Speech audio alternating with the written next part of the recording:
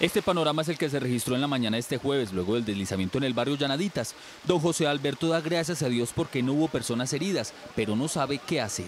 Y ve el problema que tengo con los hijos míos, no sé para dónde ir ni nada.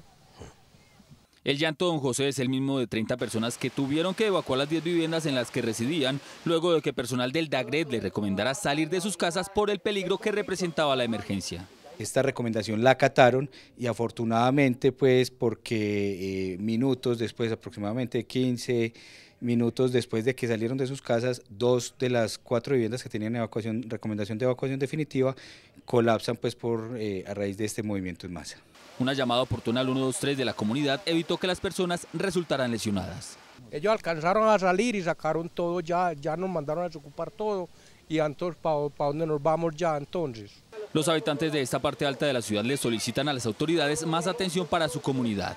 Esta zona alta es muy abandonada tanto como por las acciones comunales, por el gobierno y por todas las entidades.